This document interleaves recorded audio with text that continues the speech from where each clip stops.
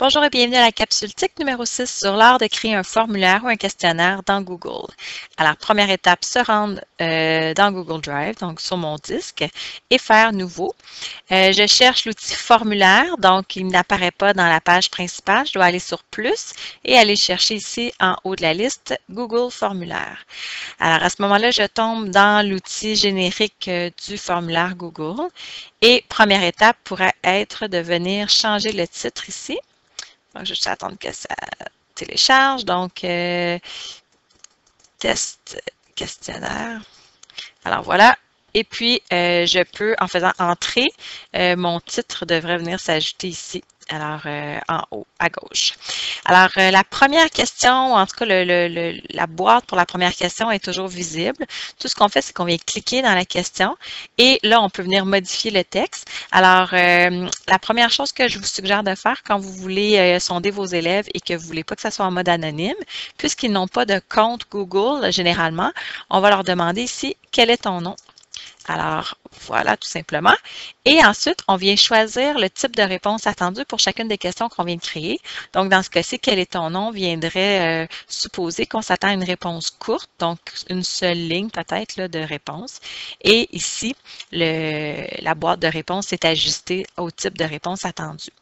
Maintenant, euh, très important ici, l'obligatoire. Donc, à chaque fois que vous voulez qu'une question soit absolument répondue avant que l'élève puisse vous, vous envoyer euh, ses, réponses, dans le fond, là, son, son, sondage terminé, euh, vous devez cliquer sur obligatoire. À ce moment-là, il y a un astérix qui va s'ajouter à côté de la question et là, ça va être indiqué, vous ne pouvez pas envoyer votre formulaire tant que ces questions-ci ne sont pas répondues. Donc, ça, c'est une première chose qui est importante à savoir. Alors, vous avez vu tantôt que lorsque j'ai cliqué ici, qu'il y avait plusieurs types de réponses attendues. Ce que j'ai fait, c'est que je vous ai montré, je vous ai créé dans le fond un questionnaire pour lequel il y avait plusieurs euh, de ces types-là euh, présentés. Donc, quel est ton nom? Si je reviens, c'était une réponse courte, on l'a vu. Maintenant, si je posais la question comme quel est ton niveau scolaire et que je choisissais cette liste déroulante, ce que ça fait, c'est que ça va proposer à l'élève différents choix et il aura en sélectionné qu'un seul comme réponse. Tantôt, je montrerai au visuel la différence entre ceci et les choix multiples. Euh, on a un autre type de réponse aussi qui, pourrait aller avec à quel point as-tu apprécié travailler avec un outil ou un appareil mobile. Et là, je pourrais choisir échelle linéaire de façon à ce que si je clique là-dessus, vous allez voir, voyez-vous, j'ai ici des points. Donc, je peux choisir de, de, nommer ou d'intituler du, moins un côté du, un côté du continuum. Donc, j'ai pas aimé du tout ou j'ai adoré. Et là, l'élève pourrait venir situer euh, son appréciation à travers cette échelle-ci. Euh, L'avantage aussi, par contre, c'est qu'on peut venir nous-mêmes choisir euh, les mots qui vont venir euh, euh, baliser, dans le fond, le continuum. alors, un autre type de question pourrait être ici, pourquoi donne au moins trois arguments? Et à ce moment-ci, j'ai demandé une réponse paragraphe, c'est-à-dire que là, je vais avoir vraiment beaucoup plus de lignes qu'une seule ligne et l'élève pourra me faire un, un paragraphe complet de réponse. ensuite, je posais la question, quels sont les avantages de cette utilisation? Et là, ben, j'ai choisi case à cocher plutôt que choix de réponse. Euh, case à cocher, euh, implique que l'élève pourrait faire plusieurs choix parmi cette liste-là. Donc, euh, quels sont les avantages? Je pourrais, moi, choisir la motivation et la collaboration euh, plutôt qu'une seule réponse. Donc, ça, ça peut être intéressant aussi. Contrairement à ici, voyez-vous, choix multiple, j'ai mis oui ou non, ça pourrait être plusieurs autres choix multiples, ceci dit, mais à ce moment-là, l'élève ne pourra que choisir, ne pourra choisir qu'une seule réponse à l'intérieur de ceci. Alors, euh, voilà ce que ça donne. Si, vous si je vous amène du côté de l'élève, parce que là, on était comme du côté de l'enseignant. Si on voit du côté de l'élève, vous allez bien voir chacun des types de réponses. Donc, quel est ton nom? Réponse courte. Euh, ici, on avait euh, une liste déroulante. Donc, voyez-vous, c'est ce qui se passe. La liste se déploie. Et là, je viendrai choisir mon niveau scolaire. Puis là, ben, ça vient de se, refermer pour juste laisser l'année scolaire. Ici, euh, mon échelle, je pourrais venir choisir à ce moment-là un niveau d'appréciation. Une, un réponse paragraphe, ici, je pourrais écrire très, très longtemps et j'aurais encore de l'espace pour écrire sur plusieurs lignes. Les avantages, j'avais des euh, cases à cocher, donc je pouvais choisir plusieurs éléments d'une réponse, tandis qu'ici, dans les choix multiples, je ne pouvais choisir qu'une seule réponse parce que si je viens cliquer sur oui, bien forcément, le nom s'enlève.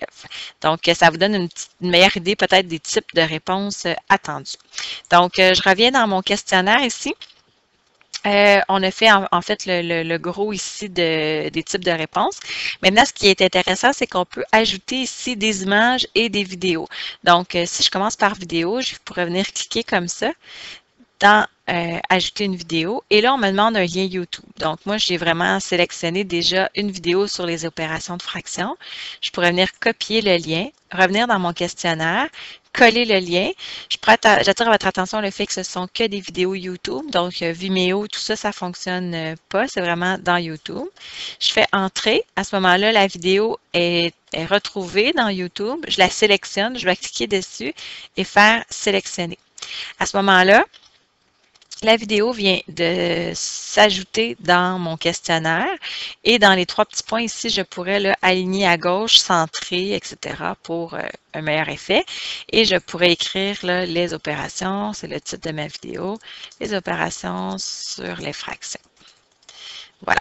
Et à partir de cette vidéo-ci, ben là, je pourrais créer euh, des questions. Alors, euh, qu'as-tu retenu? De plus significatif. Alors voilà. Et à ce moment-ci, réponse de paragraphe serait un excellent choix de réponse attendue.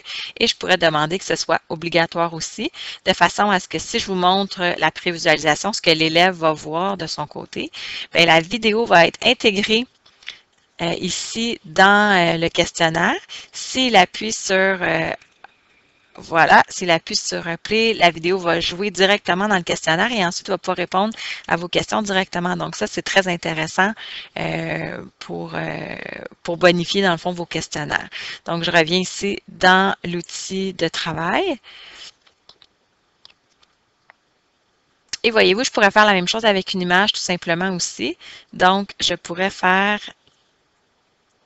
ici au bas de mon questionnaire, je pourrais ajouter image. Donc, cliquez sur Ajouter une image.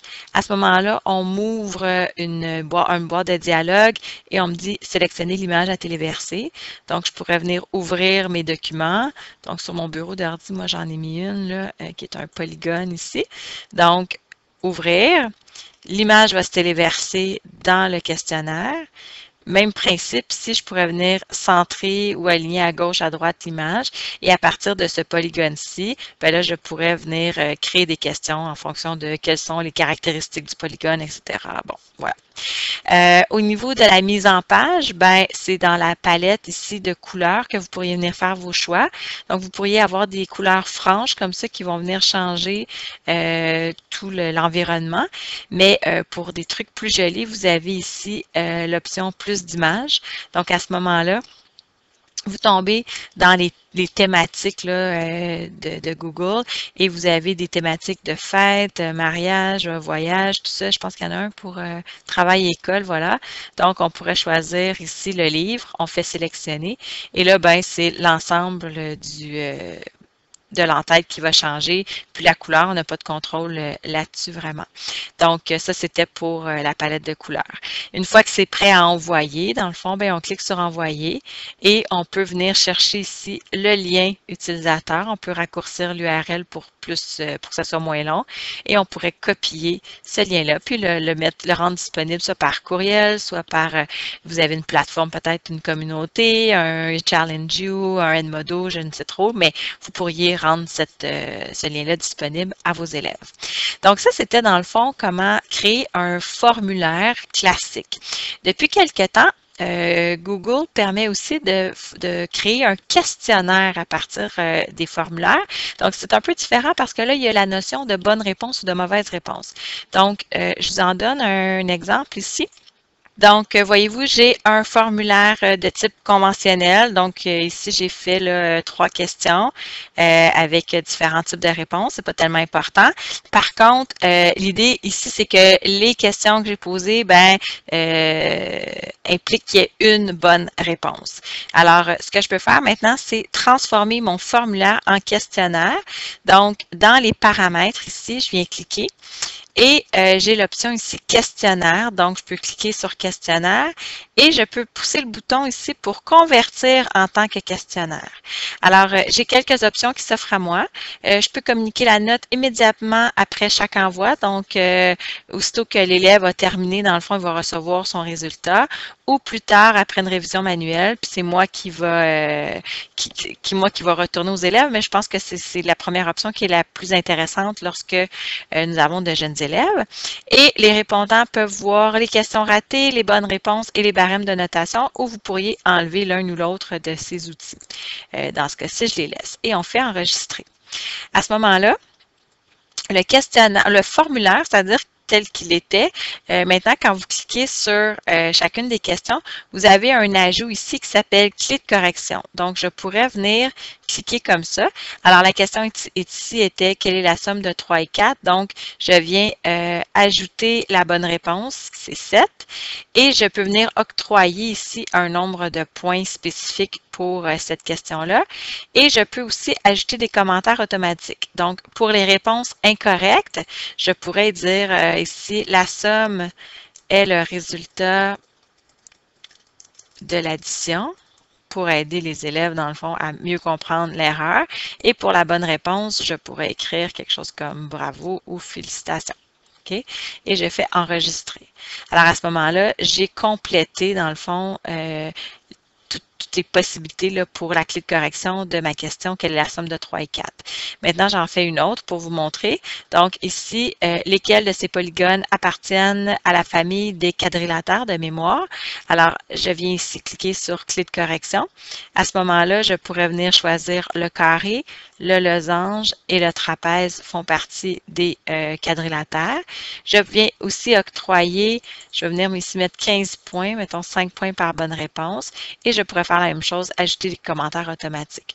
Donc, voyez-vous, c'est toujours le même principe. Si j'avais inséré une image, je viens dans, la, dans le questionnaire, je viens chercher la clé de correction, quelles caractéristiques s'appliquaient à ce polygone? On avait euh, un angle droit et une forme non convexe de mémoire, et je viens octroyer 10 points pour cette réponse.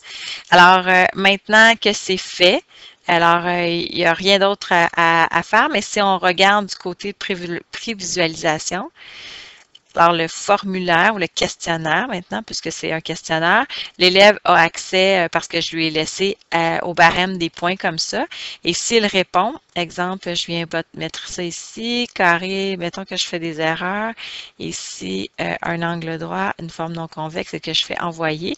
Voyez-vous, l'élève, bon, ici j'ai oublié mon, mon nom, donc, je ne pouvais pas envoyer le questionnaire, je fais envoyer. Et je peux venir afficher mes résultats ici comme élève. Donc, mon nom, de problème. Quelle est la somme de 3 et 4? J'ai la bonne réponse, crochet vert. Ici, euh, on me dit non, tu as eu 0 sur 15 parce que tu as fait de mauvaises erreurs. Et euh, ici, j'avais, on me donne les bonnes réponses. Et ici, on me dit oui, tu avais répondu. Donc, ça, ici, l'élève peut vraiment faire de la rétroaction de cette façon-là. Alors, euh, ben voilà, ce sont les bases. Évidemment, il y a plein de d'autres petits, euh, petites fonctionnalités qu'on pourrait ajouter. Mais je pense qu'avec ça, vous pouvez quand même faire un bon bout de chemin et euh, vous amuser. Au revoir, à la prochaine.